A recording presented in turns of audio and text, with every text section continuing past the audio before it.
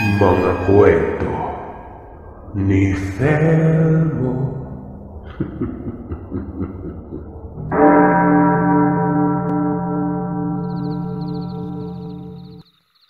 Mapagpalang araw po sa inyong lahat. Gayun din po sa inyo, Sir Seth. Itago niyo na lamang po ako sa pangalang Sherwin. Tubong bais, pero kasalukuyang nasa summer. Ang kwentong ibabahagi ko ay pumapatungkol sa tatay ko na itago na lamang natin sa pangalang Nardo. Kayo na ang bahalang umusga. Magbigay opinyon at magtimbang sa kung papaniwalaan niyo ba ito o hindi. Pero ito lamang ang tinitiyak ko sa inyo. May bagay na napunta o naipasa sa akin. Kung kaya't masasabi kong totoo ang lahat ng ito. At ang bagay na ito ay siyang pinakaingat-ingatan ko ngayon. Dahil ito ang nagbigay ng abilidad sa tatay Nardo ko. Nangyari ito taong 1980. Nang mga panahong yon, nag-iedad 17 na si Nardo. Tindero sila ng mga Ricardo o kung tawagin sa Cebuano, panakot. May ilan din mga prutas kagaya na lamang ng saging at iba pa. Inaangkat nila noon ang mga paninda mula sa iba't ibang lugar. Kasama niya ang kapatid niya na sobrang hinhin nun. Lalaki ito, pero isang pusong babae. Tawagin na lamang natin siyang Teng. Kuminsan ay sa sentro ng bahay sila pero kadalasan ay dumadayo ang mga ito. Partikular sa lumang tradisyon ng kalakala noon na kung tawagin ay tabo. Kung may tatanong, bakit ang magkapatid lamang ang namumuhay? Ang tatay kasi nila ay nagkaroon ng malubhang sakit noon nakasalukuyan namang inaalagaan ng kanilang ina. Nagmula lang sa arthritis hanggang sa humantong sa komplikasyon sa kidney. Dulot ito ng walang humpay sa kaiinom ng matatapang na gamot para sa sakit sa buto. Ito din ang naging dahilan kung bakit sila napatigil sa pag-aaral. Ang mga magulang nila o ang lolo at lola ko ay itago na lamang nating sinatitang at arino. Dahil sa sipag ng dalawa, kahit papanay nakakaraos naman sila. Sa hindi malamang pagkakataon, nang pagtitindang ito ay siyang magpapabago pala sa buhay ni Nardo. Isang araw, habang nagtitinda sila noon sa bukirang mabinay, may matanda umano na pumunta sa kanilang tindahan. Pasipat-sipat lamang ito na wari ba may hinahanap. Ilang saglit pa, nangangalay kay na ito sa kanilang panda. Yung tipong namimili ng mga preskong rekado. Kagad namang tumayo si Nardo. Inilapit niyang isa sa mga sisidlan sa inaakalang bibili nga ito. Pero bigla umanong tumitig sa kanya yon. Nakasimangot ang muka. Bibili po ba kayo, Manong? Tanong ng binata. Ah, hindi. May, may, um, may kakaiba dito. Nagtaka si Nardo sa sinabi ng matanda. Wika pa niya. Ano ba umano ang kakaiba na pinagsasasabi nito? Hanggang sa muling nagsalita yung matanda at nagpakilala sa kanya. Tawagin na lamang natin itong tandang Nicolas. Ayon dito, hindi niya umano inaasahan na may bertud sa mga paninda. Matapos makapagsalita nun, may kinuha itong isang buong bawang at inabot kay Nardo. Litong-lito naman ang binata. Wika pa nito.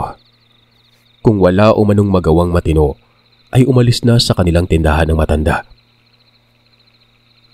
Napadaan lang ako at napasilong sa trapal nyo dahil sa sobrang init. Hm. Pambihira. Sino ba namang mag-aakala na may matutuklasan ako dito? Itago mo yung ibinigay ko sa iyo at baka may makabili niyang ibang tao. Wag na wag mong ibibigay yan sa kahit kanino ha. Ito namang kapatid niyang si Teng. Naroroon sa tabi at nagtataka din ang mukha nun. Nagkatitigan pa sila nang umalis ang matandang yon na may kakaibang kinikilos.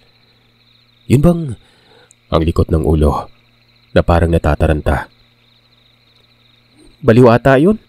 Ano ka mo? Bertud? Wika ni Ting.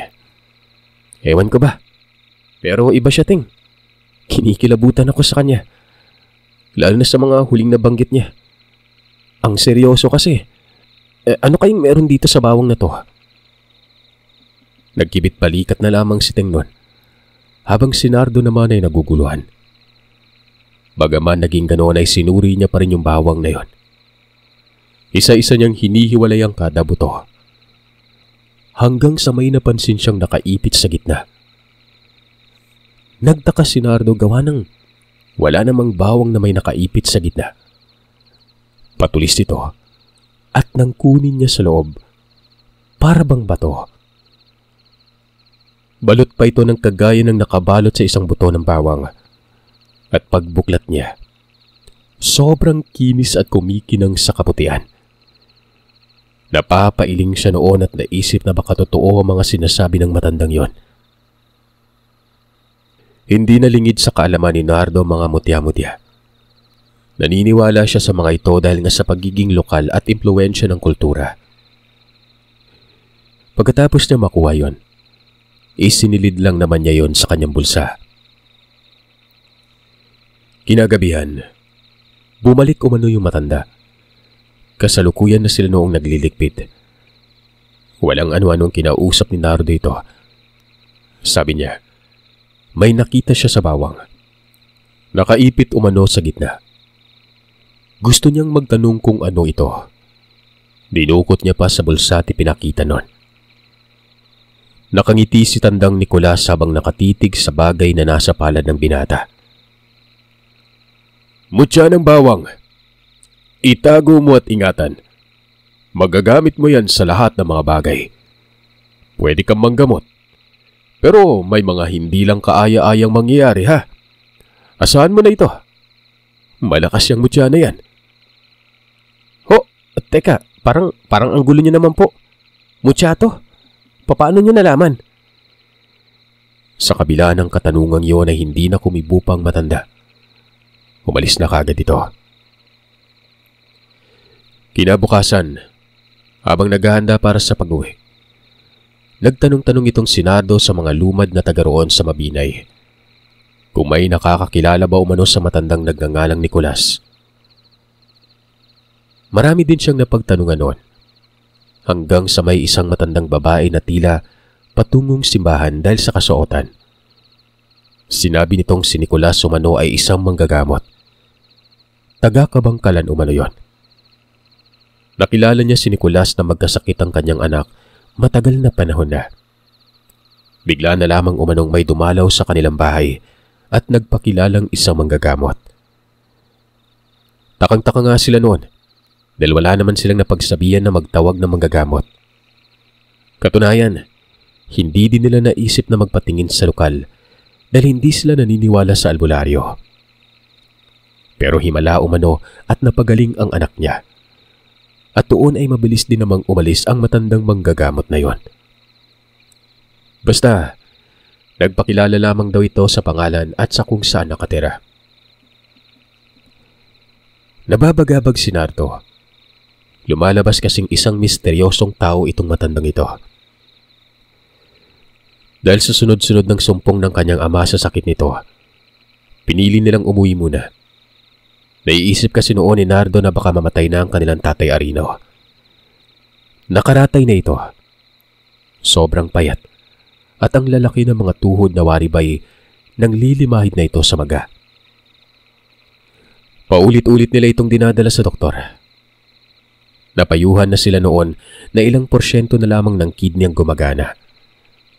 Maaaring humantong umano ito sa pagkamatay kapag hindi na dialysis noon. Paulit-ulit din itong ginagamot ng isang albularyo sa kanilang lugar. At nang muling bisitahin ng albularyo ang padre de pamilya, napatitig daw ito kay Nardo. Maliit lang ang bahay nila. Karaniwang tirahan na makikita sa probinsya. Isang palapag na papa. May beranda ito na tambakan naman ang sako-sakong paninda. Kasalukuyang nasa beranda si Nardo kasama ang kanyang kapatid. Ang albularyo naman ay itago na lamang natin sa pangalang Mang Kiko. Nasa loob, may pinagkakaabala ito sa harapan ng nakaratay na padre de pamilya. Lumapit umano sa kanya itong si Mang Kiko.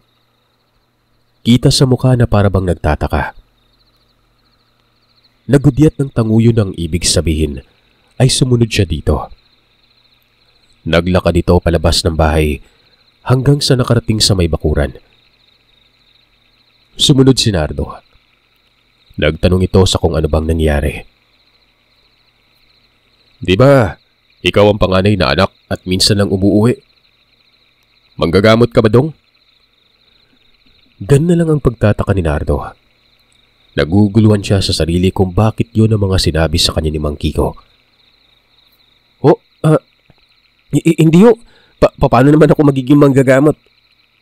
Tindero po ako ng mga panakot. Ako yung humahalili sa tatay ko. Pati nga yung kapatid ko nagtinda na rin eh. Ay naman kay Mang Kiko, hindi siya maaaring magkamali sa kanyang nararamdaman. Alam niyang manggagamot umano si Nardo noon at ramdam na ramdam niya ito. Mari namang itinatanggi ng binata yon. Paulit-ulit niyang sinasabihang hindi siya manggagamot. Ano po bang nararamdaman mo? Bakit po ba sinasabi niyo manggagamot ako?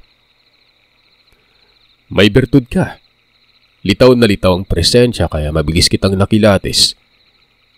May bagay ka bang inililihim?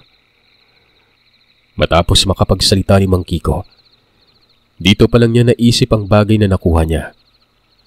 Na lagi niya namang daladala nun. Nilagay niya ito sa maliit na sisidlang tela at nasa kanyang bulsa. Dinukot niya yon. Ipinakita kay Mang Kiko. Kitang-kita umano sa mukha ng albularyo ang panglalaki ng mga mata nito.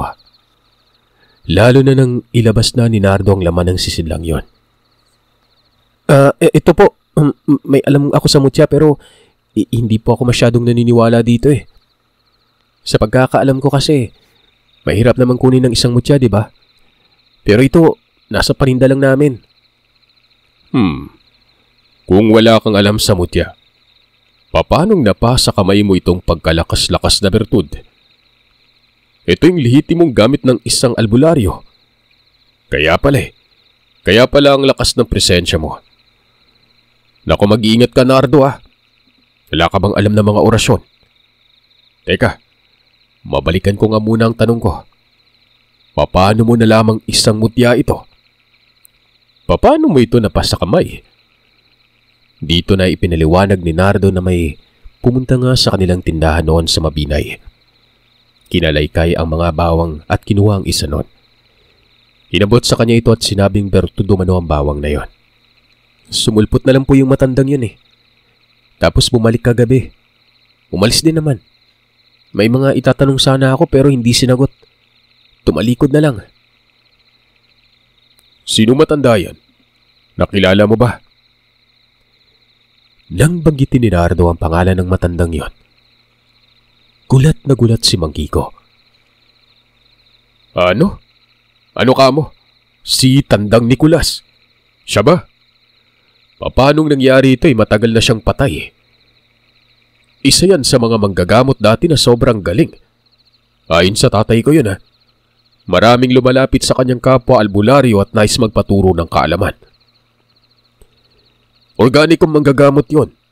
Hindi masyadong gumagamit ng mga orasyon. Ha? Pa paano pong patay? Nakausap ko pa nga eh. Taga Kabangkalan daw eh.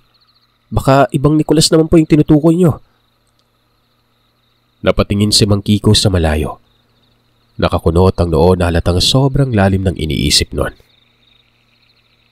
Di bale, pwede mong gamutin yung tatay mo. Napaka-epektibo ng mutya mo.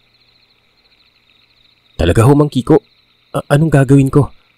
Wala naman akong alam sa ganyang aspeto. Ay naman kay Mang Kiko. Karaniwang mga dasal lamang daw ang kinakailangan. Pwede ngang dasal na natutunan sa may simbahan. Ilagay umano ang mutya ng bawang sa tubig nun. At ang tubig na yon, ipainom lamang sa tatay ni Nardo. Una, nagalangan si Nardo gawa ng hindi pa niya na proseso ang lahat ng natuklasan sa isip niya. Kumbaga, nasa kasagsagan pa siya noon ng pagkalito at pagkabagabag. Hanggang sa ginawa nga yun ni Nardo. Pero may gabay ito ni Mang Kiko. Nilublob sa tubig ang mutya. Ilang oras ang nakalipas ay saka pa lamang ito kinuha at ipinainom sa kanyang tatay. Ang payo ng albularyo Tatlong beses daw ito sa isang araw. Napakasimple umanong hindi magamot ang pasyente sa ganong klaseng mutya. Maraming binispisyo sa katawan ng bawang. Tapos isang mutya pa umano ito. Binigyan pa ng langis si Nardo. Ayon kay Mang Kiko, ilubog umano sa langis lagi ang mutya ng bawang para magamit ang langis sa paghilot.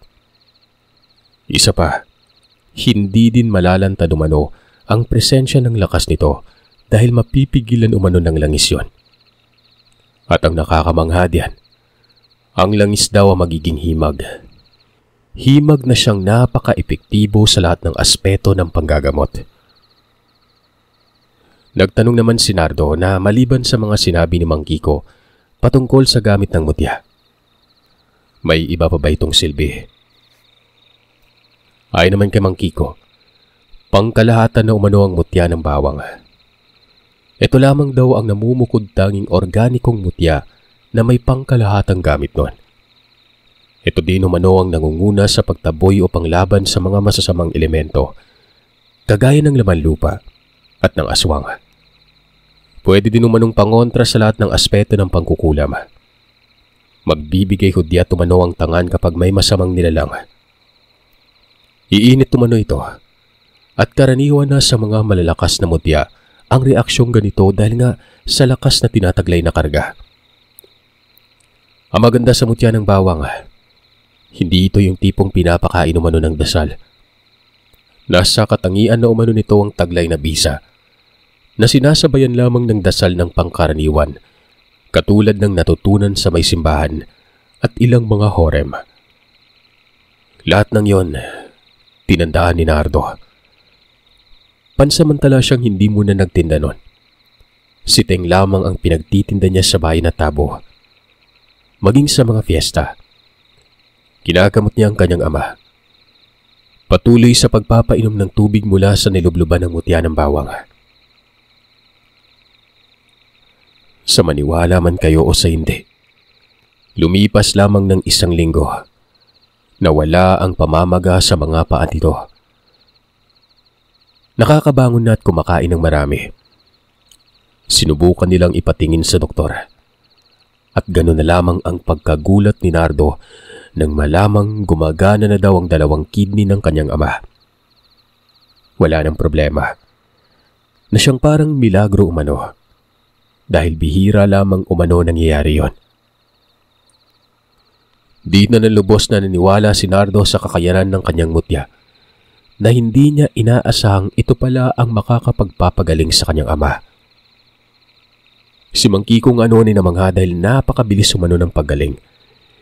Inaasahan niyang aabot ng isang buwan pero linggo lang, may resulta na kaagad yon. Hanggang sa tuluyan ng lumakas ang padre di pamilya, nagagawa na nitong makapaglakad-lakad sa gilid ng bahay. Masigla ang mukha at syempre, masaya. Itong si Nardo, nagkakaroon ng interes manggamot matapos matunghayang gumaling ang kanyang tatay. Lagi siyang bumibisita noon kay Mang Kiko. Humihingi ng payo at nagtatanong sa mga pamamaraan ng panggagamot. Inaasa naman yun ni Mang Kiko dahil halata namang umanong doon din patungo itong si Nardo. Kung kaya namang tinuturuan niya talaga ang binata noon. Hanggang sa nagsisimula na ito manggamot. At sa kabutihang palad, lahat ng nahahawakang pasyente napapagaling nito. Si Mang Kiko umano ang nagbigay ng basbas para makilala noon si Nardo bilang isa na sa mga albularyo sa bukiran ng bais. Sa kabila ng lahat, hindi nagbigay ng mahabang oras dito ang binata. Mas timbang sa kanya mamuhay noon para tumulong sa kanyang pamilya. Kahit pa man gumaling na ang kanilang ama. Hindi ito naging dahilan para bumalik na sa trabaho. Bagkos, inako talaga ni Nardo ang responsibilidad dahil medyo may edad na rin ang kanyang ama noon. Kung saan nakakarating sila Nardo kasama si Teng. May mga pagkakataong nanggagamot ang binata. Lalo na noong minsang nagkaroon ng piyesta sa lugar ng Manhuyod at naninda sila noon. Hindi na kaila sa mga probinsyano na may mga dumadayong mga manggagamot, lalo na kapag piyestahan. Ito yung nagsisisigaw gamit ang mikropono na may ini-endorso mga herbal na gamot. Kuminsan pa, may mga ginagawa mga ito para makatawag pansin ng mga tao. Kagaya na lamang ng paglalabas ng isang ahas sa isang kahon at kung ano-ano pa. Napaka-partikular nito sa lugar ng Negros. Sa mga taga-Negros, kabisado nila ang litanya palabas. Kagaya na lamang ng piso, himoong itlog. Itlog, himoong piso. Diba? Kaway-kaway dyan sa mga Cebuano. May ahas na ilalabas ang isang albularyo. Didiktaan ng ahas at susunod naman ito. Kadalasang tinitinda ng mga albularyong dumadayo ay ang tinatawag nating tawas tapol at napakaraming bumibili nito. Meron din mga garapan na naglalaman ng tipak ng sinukuan, panyawan, langis sa ahas, tipak ng dignom, at ugat ng ginseng ng tanim. Dahil nga sa pagkakaroon ng kuryosidad nitong sinardo, lumapit siya sa palabas na ito at nanood. May nakatabi siyang isang matandang lalaki nun. Nakita niyang may hawak pa itong tigbebente na wari ba'y bibili ng produkto ng albularyo. Kung kaya tinanong niya ito sa kung saan gagamitin ang bibilin produkto. Dito niya nalaman na may apo daw itong nalumpo dahil nabati umano ng elemento. Pangalanan natin ang matandang kausap ni Nardo, namang Benito. Isa itong manggagamot at nangangailangan siya ng tawas tapol para magamot ang kanyang apo. Ilang beses na daw kasi niyang tinaboy ang nasabing elemento. Pero hindi nito nilulubayan ang kanyang apo noon. Nagtanong si Nardo kung taga saan ang matandang yon. Taga bakong daw ito. Ganun po ba? Ako po pala si Nardo. Makakatulong ba yung tawas tapol? May ganyan po kasi yung kaibigan kong albularyo eh. Hindi naman gumana nung ginamot niyang tatay ko. Kung sa bagay, sakit na normal sa katawan at hindi kinabibilangan ng maligno naman yon. Tama ka dyan, iyo. Hindi napapagaling ang mga normal na sakit ng tawas tapol. Ang totoo, hindi naman talaga napapagaling ang normal na sakit ng isang albularyo. Naku, hindi ako naniniwala dyan. Napapagaling po. Depende sa tiwala ng pasyente sa isang albularyo. Napakunot ang mukha ng tao.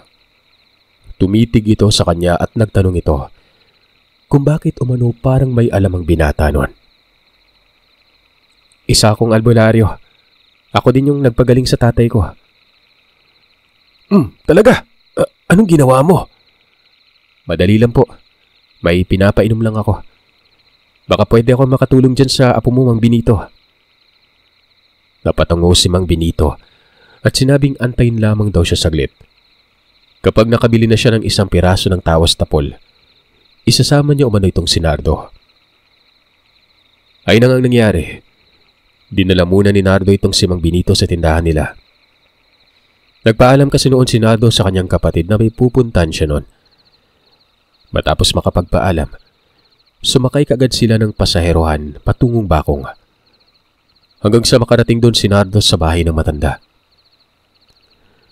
Nakita niya ang bahay nito na may kalakihan at gawa sa pulidong kasangkapan. Isang palapag, pero malapad ito. Maganda ang lugar gawa ng nasa ibabaw talaga ng bundok at kitang-kita ang ibaba ng pangpang ay dagat na. Nakita ni Nardo ang apo ni Mang Benito. Nakaduyan pa ito sa may likod ng bahay at halata talagang may sakit. Nang buhati nito ng matanda, Nakita ni Nardo noon na nakabaluktot ang isang paa ng bata. Naroroon din ang mga magulang nito na habang nakatitig sa kanya. Tila ba nagtataka? Ipinakilala naman si Nardo ni Mang Benito sa pamilya at sinabing tutulong daw ito. Magandang hapon po sa inyo. Mang Benito, paano niyo nalaman na namaligno po yung apo niyo? Tanong ni Nardo na siyang nagpakunot sa mukha ni Mang Benito. Ang sabi nito, bakit umano nagtanong si Nardo? Wala ba kuno itong alam sa pagtatawas? Albularyo ka ba talaga, Dong? Baguhan pa kasi ako mang binito. Pero sinisigurado ko sa inyo na mabisa po ang pamamaraan ko. Pasensya na, wala pa kasi akong alam sa pagtatawas. Napatawas si Mang Benito dahil inaasahan niyang biyasa umano si Nardo. Pero lumalabas na kulang pa ito sa kalaman at bakit tinawag ang sariling isang albularyo. Sa mga puntong yon, magagabi na. Nagsisimula ng lumamig ang lugar. Ay nako, nagsasayang lang ako ng oras sa'yo. Umuwi ka na lang. Alam mo naman yung daan, di ba? Akala ko pa naman eh, napakagaling mo na. Hindi ka agad nagsalita si Nardo. Ngumiti lamang ito at umupo sa gilid ng isang puno nun. Ilang saglit noon, sinabi niyang papanoorin niya na lamang si Mang Benito noon kung paano gamutin ang apo niya. Napapailing ang matanda. Nagkibit balikat at halatang dismayado. Kinuha nito sa bulsa ang nabiling tawas tapol. Biniyak nito ang bagay na iyan at kumuha ng kapiraso. Inilagay naman ang kapirasong tawas tapol sa bunot. Bukod pa dyan, may iba pa itong nilagay at pamilyar kay Nardo ito. Kamang yan at daw ng buyo yon. Siguro nga ay baguhan ka pa lang pero Huwag mong tawagin ang sarili mo na isang albularyo kung kulang ka pang kaalaman ha. Ito, Panoorin mo ako sa pamamaraan ko. Baka may matutunan ka. Alam ko po yan. Titingnan ko lang po kung uubra ba. Tapos kapag hindi, hayaan niyo po akong umasikaso sa apo niyo. Nagbibiro ka ba dong? Huwag mong gawing laro itong mga bagay na ito ha. Wala naman akong nararamdaman sa'yo. Karaniwang tao ka nga lang eh. May naaamoy lang akong lana pero walang kakaiba sa'yo. Ngumisi lamang si Nardo alam niyang banas na ang matanda pero hindi niya sinasabi ang totoo. Ang bilin kasi ni Mang Kiko, hindi dapat ibunyag ang kung anong tangan sa katawan. Isarili lamang ito gawa ng napakadelikado. Nanonood si Nardo. Pinapausukan ng apo ng albularyo. Napapaisip si Nardo noon sa kung paano na maligno ang apo ng albularyo. Samantalang magagamot naman ito. Naguguluhan ng binata gawa ng Napakahirap tantuhin ang sitwasyong yon. Hanggang sa natapos na yun sa pinagagagawa sa apo, naroroon pa nga mga magulang ng bata. At may isa pang matanda doon pero babae ito. Sa tingin ni Nardo, asawa ito ni Mang Benito. Napapansin niyang kinakapakapa ni Mang Benito ang nakabaluktot na paa ng apo niya. Umiiling yon at narinig niya ang mahina nitong pagmumura. Litsidjud ning ukuani. Gagahi batang tangan. Ibig sabihin ng pinagsasabi nito ay ang tigas sumano ng maligno at mahirap tanggalin ang kapit nito. Pasensya na po Mang Benito. Uh, wala pa talaga akong alam sa pagtatawas. Pero bakit po ba kinakpitan na maligno yung apo nyo? May pasyente akong ginagamot dito na taga-ayungon. Na maligno. Natanggal ko yung kapit pero lumipat naman dito sa apo ko. May mga dapat bantayan sa panggagamot dong. May mga basiyan at dapat sundin pero nagkamali ako dahil minaliit ko ang lamang lupa. Hindi ko alam na lilipat pala to sa apo ko. May mga dalawang buwan na rin nakalipas yon. Hayaan mo, tuturuan kita ng pagtatawas. Sino ba yung maestro mo? Si Mang Kiko po, taga Bukira ng Bais. Panghilot lang naman kasi yung naituturo niya sa akin at ilang mga panggagamot gamit yung organiko. Hindi pa partikular sa akin yung mga bati, kulam at yung mga ano-ano pang mga koneksyon sa mga elemento. Hindi po po kasi ako napapasubok dun eh. Pero tingin ko, kaya kong pagilingin yung apo nyo. Tumayo si Nardo nun. Kinakapa-kapa niya ang paa ng bata. Pangalanan natin ang batang ito sa pangalang ninyo. Payat, maputla, Ang kaliwang paa ang nakabaluktot na para bang may polio yon. Habang kinakapa-kapa umano ni Nardo ang bata, biglang uminit ang garapa na pinaglagyan ng mutya ng bawang. Damang-dama niya ito sa bulsa. Kasabay naman ng pangyayaring yon, napatitig sa kanya itong si Mang Benito. Yung tipong pagkatitig nito, para bang gulat na gulat. Napapailing tapos nagwika ng mga katagang. Ang lakas mo pala. Anong klasing tangan meron ka? Hindi naman nagsalita si Nardo. Pero aminado siyang nagtataka talaga siya kung bakit uminit ang garapa. Hindi pa niya pinapakialaman ito. Alam niyang naramdaman ni Mang Benito ang mutya. At siguro ay dahil sa pag-init nun. Pero nakakatiyak siyang hindi nakikilatis ng albularyo ang kung anong bagay meron siya. Ang naiisip noon ni Nardo na maligno nga ang bata. Unang beses ay may ganong reaksyon ng mutya ng bawang. Pero alam niyang hindi pang karaniwan ito. Maaring totoo ang mga sinasabi ni Mang Kiko na pangkalahatang proteksyon at magbibigay hudyat ito sa kanya sa oras na may masamang nilalang. Ngayon pa lang ako nakaramdam muli ng isang lihitimong manggagamot. Yung albularyong may taglay na abilidad na hindi makikita sa iba. Alam mo ba yun, Dong? I- isa kang lihitimong albularyo pero bakit kulang ka sa karunungan? Hindi ko din po alam ang Benito. Tsaka pasensya na, hindi ko po pwedeng sabihin kung anong tinatangan ko. Maaari po bang makahingi ng isang basong tubig? Matapos nun, dali-dali namang nag-utos ito sa anak. Inabot kay Nardo ang isang baso ng tubig na yon. Kinuha niya na garapa. Marahan niyang binuksan ng takip at pinatakan ng lana ang tubig na yon. Dali-dali niyang isinilid sa bulsa ang garapa. Nanlalaki ang mga mata ni Mang Benito. Nawari ba'y nagtataka ito kung anong meron sa garapang yon. Nanalangin si Nardo nun. Hinipa ng baso. Ipinainom ang tubig sa bata. At dito, inihipan niya ang mukha nun. Ibang klase ang pamamaraan mo, Dong. Ngayon lang ako nakakita ng hindi dumadaan sa isang seremonya. A- ano bang tawag dyan, Dong? Wala po. Gawa-gawa ko lang po. Tingnan natin kung hindi makakalas ang elemento sa kanya.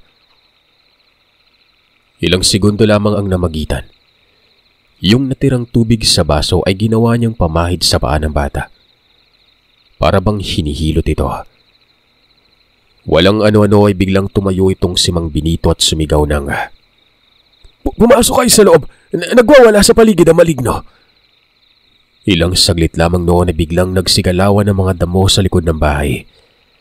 Yun bang parang may gumagapang sa ilalim nito. Maging si Nardo ay naggulat at nakaramdam ng takot. Nagsipasok ng bahay ang pamilya ni Mang Benito. Ang natira sa labas, yung bata, si Nardo at ang albularyo. Muling dinukot ni Nardo ang garapa. Kumuha siya ng konting langis.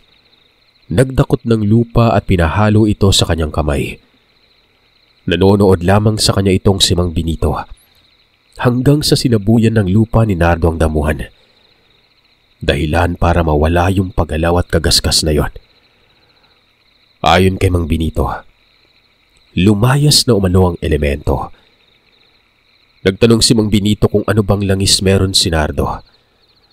Ayon naman sa binata ay langis lamang daw yun ng niyog. Huwag mo nga akong niloloko, Dong. Patanda na ako. Hi- hindi ganon ang bisa ng langis sa niyog. Ano ba talagang espesyal sa'yo at tila bigla ka na lang lumakas? Langis lang po sa niyog yon. Amuin mo pa yung kamay ko. Yan o, langis sa niyog talaga, di ba? Nakasimangot ang mukha ni Mang Benito. Patuloy na nagtataka. Ilang saglit ay nawala ng pag-init ng garapa na siya namang dahilan para magbigay opinyon si Nardo na wala ng kapit ng elemento si Nino. Wala na. Nilubayan na siya. Ganun lang kadali mang Benito. May pausok-usok ka pa. Siguro ilang araw po mula ngayon, makakalakad na. Pero hindi ako tiyak kung maayos o maibabalik sa posisyon yung paa. May konting diferensya siguro pero konti lang. Kasi sa paghilot ko, naapektuhan talaga yung buto eh. Pero kahit pa paano po, wala nang koneksyon sa kanyang elemento. Malinaw na paliwanag ni Nardo. Ayon naman kay Mang Benito. Tama daw si Nardo. Wala nang elemento. At tama din ito na hindi perpektong maibabalik sa normal ang itsura ng paa pero makakalakad na ito. Maraming salamat sa idong. Ta taga saan ka nga? Taga bukiran ng bais, di ba? Pwede bang makahingi ng langis mo? Parang himag yan eh. I ihahalo ko lang sa langis ko. Hindi naman tumanggi si Nardo. Kumuha ng ibang garapa itong si Mang Benito. Nilagyan ng konting lanang yun ni Nardo. Isang uri ng langis na mutya daw ito ayon kay Mang Benito. Pero napangisi na lamang si Nardo dahil alam niyang dulot ito ng presensya ng mutya ng bawang. Kahit ko konti lang. Tapos kapag pinunan ng ibang langis, kakalat ang bisa ng kakarampot na langis na himag. Kumaga, magiging himag na rin yung dinagdag kahit hindi pa. Kahit hindi pa nakalubog doon ang mutya ng bawang. At kapag nabawasan, pupunan lamang ito at hindi mawawala ang pagiging himag nun. Ipinaliwanag ito ni Mang Kiko sa kanya kaya alam na ni Nardo ang patungkol doon. Maging si Mang Kiko, may langis din galing kay Nardo. Mantakin niyo, si Mang Kiko ang nagbigay payo na ilubog sa langis ng mutya pero humingi din si Mang Kiko ng langis matapos nun. Ibig sabihin lang, malakas talagang bisa ng mutya ng bawang. Paulit-ulit namang nagpasalamat si Mang Benito sa kanya. Sabi pa nito, Ipagpabukas na lamang umano ang pag-uwi dahil doon na sila maghapunan. Tumanggi naman si Nardo. Kailangan niya makabalik kasi baka inaantay siya ng kapatid niya. Sabi pa naman niya ibabalik din kaagad. Hindi na pumigil pa si Mang Benito. Pero bago pa makaalis itong Senado, tinanong ni Mang Benito kung saan ba talaga namamalagi itong Senado. Nasa bahay po ako kapag Martes. Sa mismong bahay namin sa bukid. Alam kong dadalaw ka. Naniniwala ka na ba sa akin, Mang Benito? Nakakamangha ka dong. Kaya nang sinabi ko, ngayon lang ako nakaramdam ng isang lehitimong manggagamot. Yung tipong bihasa sa larangan ng ganyan. Para, parang katulad mo yung taga-kabangkalan eh. Kaso matagal na siyang pumanaw. Mabilis na pumasok sa isip ni Nardo si Tandang Nicolas. Sinabi niya kung ito ba o manong tinutukoy ni Mang Benito. Bakit mo alam ang pangalan niya? Kaano-ano ka ba niya? Apo ka? Ikaw ba ang napasa ng tangan niya? Hindi nakapagsalita si Nardo. Ito nga ang tinutukoy ni Mang Benito at tumutog ba naman sa binanggit ni Mang Kiko na ang nagngangalang Nicolas. Matagal nang yumao. Pinaniniwalaan niya kasi nung una na ibang tao lang pero bakit dalawang albularyo na ang nakakakilala dito? Idagdag pa dyan, ang pagiging konektado ni Nardo doon kay Tandang Nicolas. Si Mang Benito na din ang nagsabi na parang si Tandang Nicolas itong si Nardo. Isang palaisipan ito sa binata. Nahihiwagaan si Nardo kung ikukumpara siya kay Mang Nicolas noon. Posibleng parehas sila ng tangan. O hindi naman kaya, yung mutya ng bawang. Galing talaga yon kay Tandang Nicolas na siya namang ipinasa sa kanya. Pero paano nangyari yon? At dahil dito, naiisip niyang puntahan si Tandang Nicolas noon. Aalamin niya kung patay na ba talaga ito o hindi. Baka kasi haka-haka lamang ang pagkamatay noon. Matapos maninda sa manhuyod, pumuslit si Nardo sa lugar ng kabangkalan. Gusto na niya noong linawin ang bumabagabag sa kanyang isipan Nagtanong-tanong siya doon kung saan nakatira itong si Tandang Nicolas. May mga nakakakilala pala dito. Pero nagtanong din sa kanya kung bakit niya hinahanap ang matanda. Gayong matagal na daw itong yumao. Doon, doon sa bandang yon. nakikita mo ba yung diretsyong daan na yan? Sa dulo niyan may palayan na tubo. Magtanong ka doon at malalaman mo kung saan siya dati nakatira. Wika ng taong nakausap ni Nardo. Dali-dali niya man yung tinungong lugar. At noong makarating sa dulo, may nakita siyang tao nagguyod ng isang kalabaw. Tinanong niya yon kung saan banda ang bahay ni Tandang Nicolas. May nakapagsabi kasi sa kanya na nasa looban yon. Tinuro naman ng tao ang direksyon sa kung saan nakatira ang matandang ito. Nakita niyang isang bahay na hindi kalakihan, perong sobrang luma na nun. Ayon sa napagtanungan, ang nakatira daw sa bahay ay ang apo ni Tandang Nicolas. Ba't niya umano hinahanap, eh matagal nang namatay ang matandang yon. Hindi na lamang nagsalita si Nardo. Lahat ng napagtanungan niya doon may kaparehang tugon na tanong na siyang mas lalong nagpapanabik at nagpapabagabag sa isip ng binata. Hanggang sa makarating na siya sa nasabing bahay. Bumungad sa kanya ang isang lalaki at nagbibilad ng mais yun. Binati niya ito at sinabing dito ba daw nakatira matanda. Si Lolo? Ah, oh, bakit? Matagal na siyang namatay. Eh, ano bang sadya niyo? Ah, may tatanong lang sana ako kuya eh. Patungkol sa pagiging albularyo ba? Kailan ba siya namatay? A- ako nga pala si Nardo. Nako, mga labing limang taon nang nakalipas yon. Ano ka mo sa pagiging albularyo niya? Eh, o nga ano, albularyo nga pala si Lolo. Pero wala kasing sumunod sa kanya. Si tatay sana kaso na unang namatay ang tatay ko sa kanya. Eh, hindi naman pwedeng ako kasi nga maliit pa ako nun. Halika, pasok ka sa loob. Nagpakilala ang lalaking ito. Pero itago na lamang nating Elmer. Sa pagkakatansya ni Nardo ay nasa 20 mahigit na ito. May kasama ito sa bahay na tila ba asawa niya. Naglalabas sa may likuran at may bata pang katabi. Pinaupo si Nardo sa may sala. Ginala niya ang kanyang paningin sa kabuang postura ng loob ng bahay hanggang sa may napansin siyang larawan. Lumang larawan ito. Ganoon na lamang ang gulat ni Nardo. Kasi ang nasa loob ng larawang yon, walang iba kung hindi si Tandang Nicolas. Nagtayuan ang lahat ng balahibo niya sa katawan na para bang nabuhusan ng malamig na tubig ang binata. Hindi niya nga napansin noon na tinatawag na pala siya ni Elmer at tinatanong kung gusto ba nito ng kape. Nilapitan siya tinapik sa kapalang nagkaulirat si Nardo. Tinuro niyang larawan at nagwika ng Siya nga, pero bakit? Kamakailan lang nakita ko siya.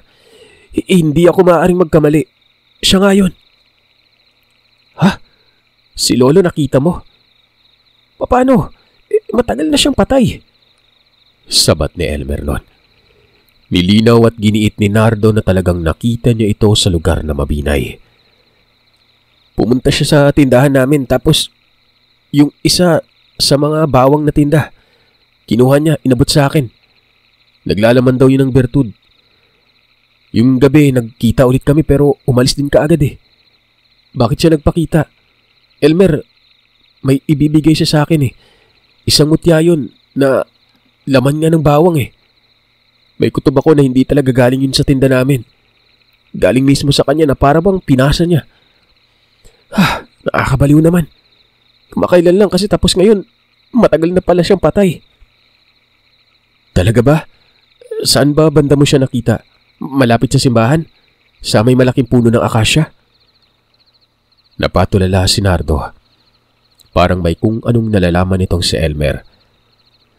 Tama o mano yun sa may akasya. Nawindang siya sa natuklasan niya. Pero mas nawindang si Nardo sa isiniwalat ni Ermeldon. Ayon dito, labin limang taon na umanong nakalipas.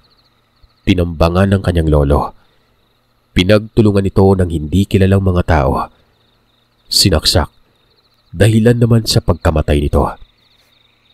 Doon mismo nangyari ito sa kung saan nagtinda si Leonardo nun. Kung nagpakita ito at may ibinigay, Siguro ay nais lang nito na ipasa ang kanyang legasiya na hindi na ipasa sa sariling pamilya. Tama daw si Nardo. Mutya ng bawang ang meron ng lolo niya noon. Hindi kagad nakapagsalita si Nardo. Naroroon pa rin ang pangingilabot at sobrang pagkabagabag. Para na umano siyang mababaliw sa kakaisip na kung ganun pala, multo yung nagbigay sa kanya ng bertud. Parang tama itong si Elber. Maaaring nagnais lamang yon na maipasa ang abilidad sa ibang tao at siyang napili nito. Ayon sa kwento ng tiyo ko Nardo, ang naging dahilan na sa pagkamatay ay yung tangan din. Lumakuha ng labi ng lolo, wala na dun. Inakala nga nila noon na nakuha ng ibang tao pero nang malaman ko ngayon na nasa sayo yun, Baka nilunok ng lolo yung mutya ng bawang para hindi maagaw. O hindi naman kaya nilagay niya sa kung saan dahil alam niya na siguro na may banta sa buhay niya. Napapailing na lamang si Nardo. Ipinakita niya ang garapa na naglalaman ng mutya ng bawang. Sinabi niyang hindi dapat sa kanya ibigay ito kung hindi sa sariling pamilya. Ibabalik ko na lang. Hindi sa akin to. Para to sa inyo, Elmer. Nakakapangilabot. Namangha ako. Inabot ni Nardo ang garapa. Pero umiling si Elmer. Sinabi nitong mabait daw si Nardo kaya ito ang pinili. Huwag daw ibalik sa kanila kung ipinagkatiwala ito sa kanya. Bigyan na lang ng respeto dahil ito naman ang kagustuhan ng kanyang lolo. Kahit papano, natuwa ito sa natuklasan kay Nardo.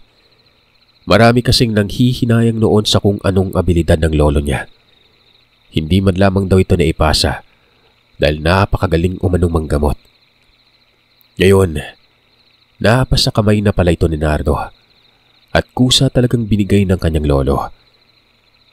Nagpapasalamat si Elmer dahil parang muli umanong nabuhay ang lolo niyang si Nicolas. Pero dapat umano ay mag-ingat si Nardo dahil baka matulad daw sa kanyang lolo noon na pinatay para makuha lamang ang mutya. Tumango naman si Nardo.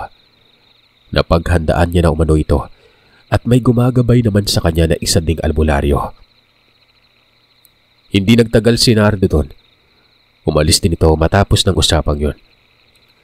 Naging sapat na sa binata ang lahat. Kahit papano, may nalalaman na siya sa pinanggalingan talaga ng bertud. Ginamit ito ni Nardo sa panggagamot. Pero hindi talaga literal. Kumbaga, tinitimbang niya ang sitwasyon.